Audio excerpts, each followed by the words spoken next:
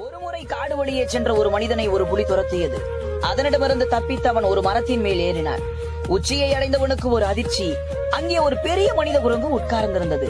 நடுநடுங்கிய மனிதன் அந்த மனித குரங்கிடம் அடைக்கலம் கேட்டான். அந்த மனித குரங்கு கவலைப்படாதே நான் உன்னை ஏதும் செய்ய மாட்டேன். என்னை அண்டி வந்த உனக்கு பாதுகாப்பு தருவேன் என்றது.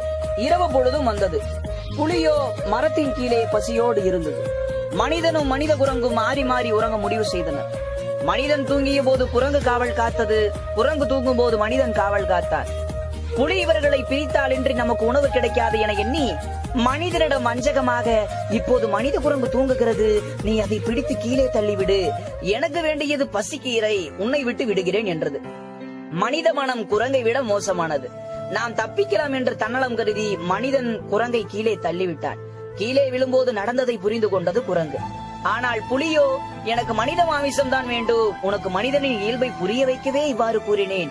இப்போதும் உன்னை விட்டு விடுகிறேன். நீ மேலே சென்று மனிதனை கீழே தள்ளிவிடு. நான் பசியார மனித மாமிசம் உண்டு விட்டு போய் விடுகிறேன் என்று அப்படியே செய்வதாக சொல்லிவிட்டு மரத்தின் மேலே ஏறி வந்த குரங்கு மனிதனின் அருகில் வந்தது.